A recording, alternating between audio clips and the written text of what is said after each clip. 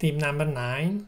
Choose two or three biggest component suppliers and use them to select all the components for your designs. I'm going to explain. Always when we draw schematic and we need to use a new component, always we go to DigiKey and we have a look if the component which we would like to use, if it's in stock and if it is possible to buy it in one piece. If the component is not in DigiKey, if you cannot buy it in one piece, and if it's in stock, if it's not in stock, we don't use it in schematic. There are some exceptions because DigiKey they don't uh, stock uh, all the manufacturers or they don't sell all the manufacturers. So sometimes we may want to go to Farnell or we may want to go to Mouser. This is in the US they call it I think Newark but uh, most of the components which we use 90-95% of components which we use in our schematics they are available from DigiKey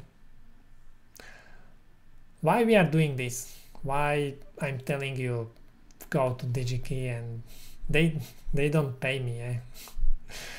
I'm not doing advertisements for DigiKey I'm uh, trying to help after some time of doing hardware development, I realized that if I do it this way, if I select components for my schematic this way, which I just explained, we have less problems during manufacturing. We have less problems when we are building prototypes. We have less problems when uh, we are doing mass production. What kind of problems you can have during production? What do you think? you may have problems to buy components. If you use or if you select wrong component, the problems which you can have are that you may not be able to buy the component in one piece. So you may need to buy 1000 or 5000 pieces for building your 10 prototypes or 100 products. Or uh, if you use or if you select wrong component, uh, you may uh, need to wait uh, for 16 weeks to, to get it because delivery time is 60, 16 weeks.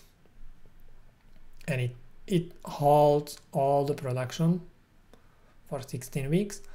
Or uh, you may not be able to buy it because, I don't know, manufacturer doesn't exist anymore or uh, they just stop manufacturing the component because you were only one company to to buying it yeah?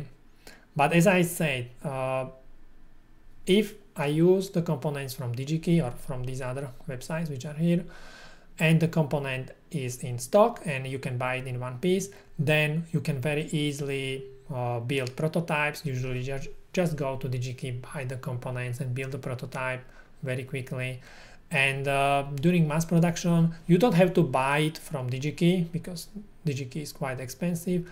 During mass production you can buy the components from the other suppliers cheaper suppliers. But uh, but uh, you just need to be sure when you put this component into schematic it is available in DigiKey I don't know why it works I don't know, maybe it's because DigiKey they only stock the components which sell.